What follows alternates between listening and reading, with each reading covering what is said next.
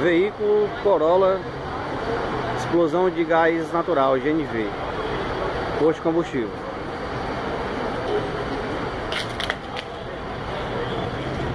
Olha como ficou a traseira do veículo após a explosão do cilindro.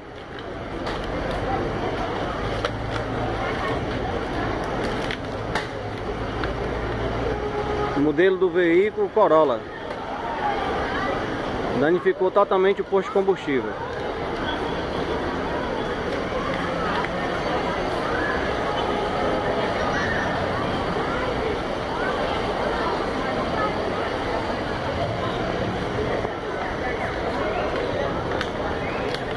cilindro de GNV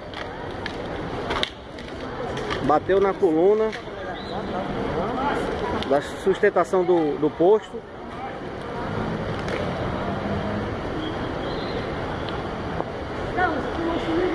Veio fazendo esse percurso, derrubando a grade.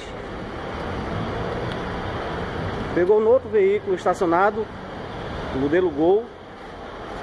Desviou a rota, o cilindro, danificando o veículo Gol. E foi parar na parede. É isso aí, pessoal. Cilindro de GNV veio estourar as conexões e danificando totalmente o veículo e o posto de combustível.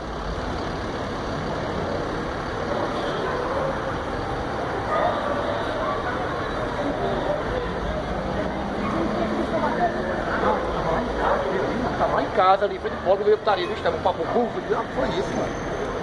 Primeiro socorro no local com todo equipamento de segurança, salvamento, ambulância, todo mundo aqui no local do sinistro.